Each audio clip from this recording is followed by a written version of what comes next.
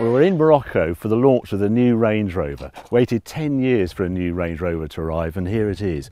I mean, it's a, it's a really important car this. It's always been the ultimate, seen as the ultimate off-roader.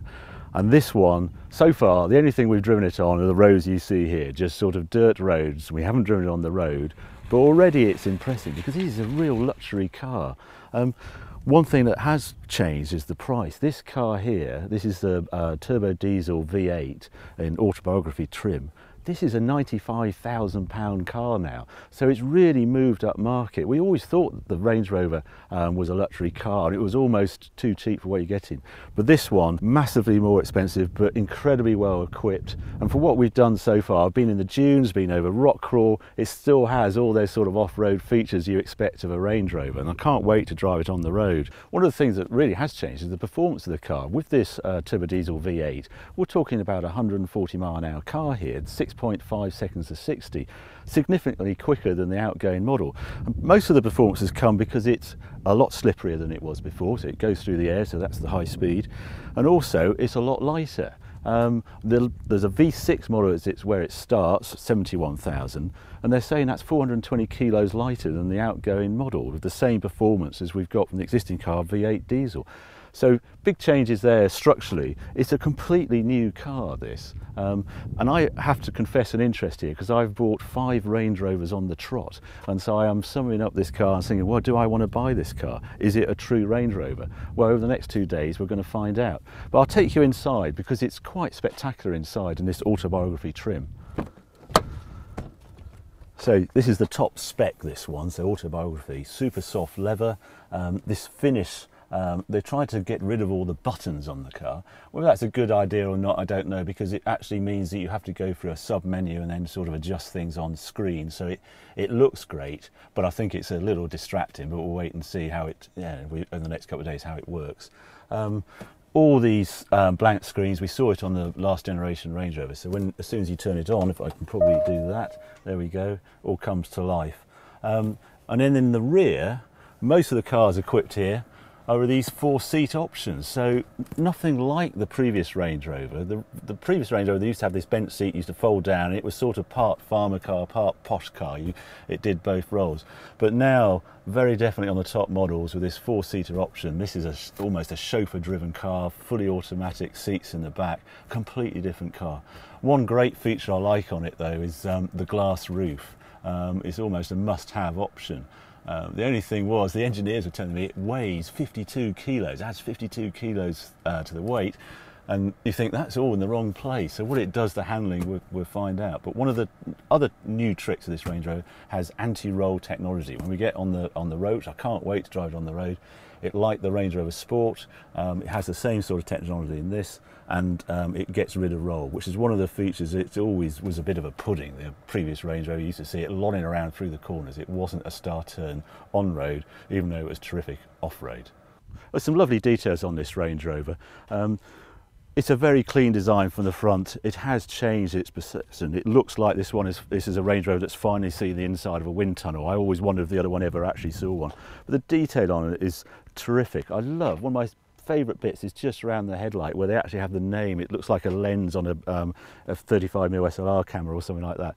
Really nice details. If we go around the side, as you can see, it's a very big car. They're saying it's only um, 27 mil longer than the um, old Range Rover. But what it has grown is in the wheelbase. The, the distance between the wheels is significantly bigger, about 120 mil, and that's gone into this passenger compartment at the rear. And then just what they've done to try and um, sort of try and look to shrink it is these gills here. Now these used to be here and it's where the engine used to breathe on the previous generation one. Now they're just a styling feature on the door and Gerry McGovern said he put them there to actually shrink the door because that's a vast door. Um, absolutely huge and without that styling feature it would look even bigger. Um, if we go around the back, again, it does look different from the rear. I don't think it looks quite as regal as um, the existing Range Rover. This is shrunk down. I know on mine I can never actually see the roofs. I never actually bothered cleaning the roof on them, but now I can see the roof. I'm going to have to clean the whole flipping car if I've got one of these. It's all electric now, this car. Up it goes on this one excuse the truck, we are in the middle of Morocco. The, this is the only decent road we've found so far. Anyway, spectacular boot. Press a button and it'll all fold away automatically. I think people are going to love that. Well, there we go. That's the new Range Rover. I'm going to spend the next two days with it. Let's see what it's like on road. Sort of launching this new car with this um, V6 turbo diesel. They, they claim the performance is the same as the outgoing car because of the weight saving. 420 kilo weight saving is on this example, and uh, I quite. I think this is going to be the one that everybody wants to buy because it's going to offer the most economy, and you can't really tell that it is the V8. We looked round them in the car park, and uh, there is no visual clue that you've actually bought. You can't even call it a poverty spec, but the V6 because this is we're in the autobiography here, and it's still a it's a ninety thousand pound car even in V6 form. Once you only have to tick a couple of options like park assist or something like that. But uh, first of all, we have to get out of Marrakesh, and this is Morocco is a crazy place. Um, just the things you see on the road, we've seen, you know, there's donkeys everywhere. There's donkeys over there. There's horses. There's sheep on roof racks. Utterly mad. And there's a, I think there's just get out of Marrakesh, they have these markets, and I think there's a sheep market going on up here. Just chaos. Look, there's one on a one on a moped. Who would carry a sheep on a moped? But it's the sort of thing you see everywhere in Morocco. Dear me. I can't get over that. They strap them to the roof rack. There's one. There's a transit up there. Sheep strapped down on the roof. Just, how could you get away with that? If you did that in the UK, you'd be locked up just nuts.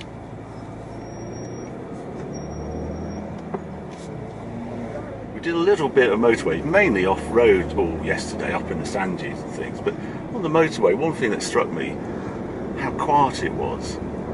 It's actually doing at 70 miles an hour, you're doing about 1400 revs, and that's the thing with this new 8-speed gearbox really drops the revs when you're cruising. And I think that's where the economy comes from. But it's about 50 miles per thousand RPM, which is so overgeared, but it does make a very relaxing sort of way of travel. And we all know that's what Range Rover is all about. It's the just a beautiful way of travel. There's always always this glass area. You have a great view out, command drive position, and uh, all those elements are still in the new Range Rover. But it's this this promise of more luxury, and that's the thing I sort of think that's quite different with the previous Range Rover to this new Range Rover. This has started. The luxury starts at a higher level. You've gone up a class of car. Previous Range Rover was you can you can understand a sort of farmer spec one, but it had all this added leather everywhere, and uh, it turned into a luxury car. But it was slightly utilitarian at its base. It was made to to do work this one doesn't feel like that. This one feels rival to Bentley. It started at a higher place. You can't imagine a sort of farmer spec Range Rover. And that to me is the difference between these two, the so-called 322 and now this, the 405 new Range Rover. It's a proper luxury car now. I say, this V6, I'm sure it's the one that's going to um, sell. Behind the wheel, I'm an owner of a TDV8 at the moment and I can't really tell the difference. And if anything, it's slightly quieter than the V8. There's, there's a little bit of chatter coming through from the V8 that the moment is absent on this. I just want to do a bit more road driving in this car because, as I say, all we've really done on this launch is charge around the dunes, which is great fun. I don't see many Range Rovers doing that in real life. The other thing on this um, Range Rover, you get this um, roll control on the V8 models, and they've left it out on this V6. So that's the other thing that does feel slightly different. But it doesn't wallow at all like the old Range Rover. This is a very different driving experience. I don't think you're going to miss the anti-roll, and it adds quite a lot of weight. Yeah, after the after the V8, this V6 doesn't quite have the performance. It is yeah, it could be on par with the outgoing model, but the, the V8 uh, diesel really feels quite quick. They quote a 6.5 to 60, and it always has torque on offer, and, it, and it's just one of those cars that is just surprisingly quick. There is the supercharged petrol version, and that's pretty bonkers. That's down in the five seconds to 60 or something. Must be pretty special. But I'd say the big surprise in this V6 is I'm not actually missing that anti-roll technology, just because it's it just feels that a little bit more nimble wheel, even though I haven't driven it that far. This is part of the fun of being on a Land Rover launch. They like to muck about in rivers.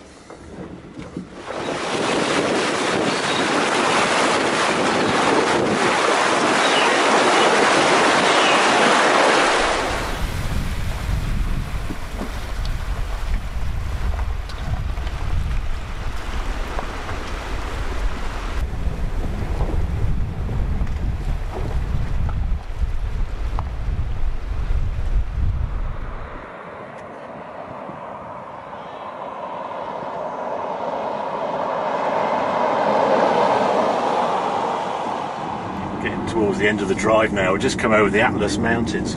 Extraordinary sight. We're up at, um, I think it was 2,700 metres, so what's that? This must be 6,000 feet. Um, track on the way up, bumpy track. Um, didn't see any snow where we were. We could see it on the mountains beyond. Um, Coatwell is now just making our way back to Marrakesh. And after we must have done three, four hundred kilometres now. And the Range Rover, just looking at the new Range Rover, the new, the good bits and the bad bits. Um, some of the things I'm not so sure about. Um, it's a big car. We sort of knew it had grown, it's, but it's grown in, in width, and it's the one thing it didn't really need um, usability. You don't notice it out here, but I sense in crowded London you're going to feel that this is a pretty big car to park.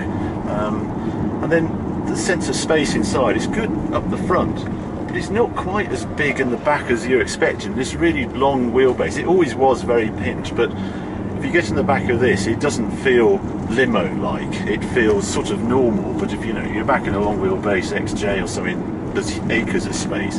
This doesn't have that feeling. And I think it's partly um, to do with the aluminium construction because all the pillars, all A, B, and C pillars, are really thick and bulky. It's, it's one of the downsides of using aluminium. You have to use bigger structure to get the same strength as steel. With the new rollover test in America, really that you need very chunky pillars to, to meet it. And, it and it just slightly encloses on the cabin more than expect particularly at the back. And this tapered uh, finish at the back doesn't have that sort of really glassy feel of a current Range, a previous generation Range Rover.